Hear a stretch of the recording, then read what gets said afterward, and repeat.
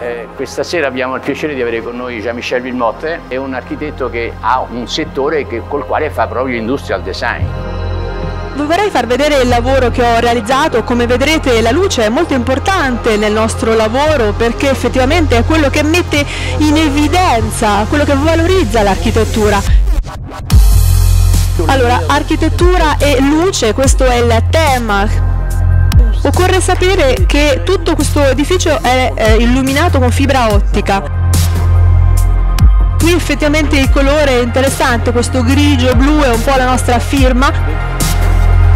La luce è sempre presente, vedete? La luce crea delle sequenze, degli elementi fondamentali. Questo edificio era abbastanza importante, con una forma particolare della topografia del luogo che ha decretato la natura dell'edificio.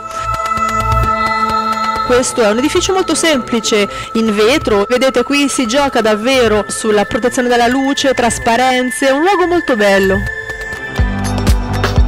Connubio di luce e design, simbolo della nostra riconoscenza per una collaborazione che contribuisce ad arricchire la cultura della luce e direi arricchire anche il mondo. Grazie a te Jean-Michel.